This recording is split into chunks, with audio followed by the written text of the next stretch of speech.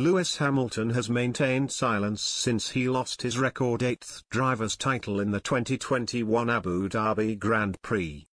Former F1 champion Jacques Villeneuve thinks that Lewis Hamilton is weighing up the possibility of winning his eighth championship in the 2022 season. Based on that, he will make the decision of whether or not he should return to the sport. Villeneuve told Italy's Gazzetta dello Sport, it depends on the car that Mercedes will give Hamilton, whether he can win easily with it or not.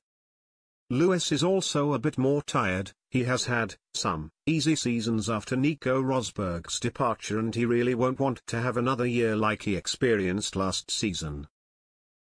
He thought he could easily bring in the record eighth title and that didn't happen.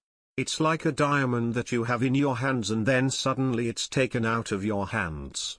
In this way, it hurt much more than if Verstappen would have simply led the whole race, he further added. Lewis Hamilton is distancing himself from Toto Wolff. The Canadian driver thinks that the seven-time world champion is trying to stay away from his team principal. Villeneuve believes that Wolff's dramatic actions of throwing off headphones or slamming the table might not be of Hamilton's taste. Villeneuve explained, I also interpret Hamilton's silence as him wanting to put some distance between himself and Wolff.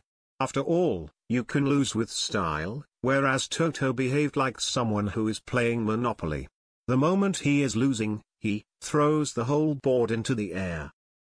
Following Wolff's radio message of, no Michael no, that was so not right, going viral after Abu Dhabi GP, Villeneuve thinks, in doing so, Wolff suffered a lot of image damage, in my opinion.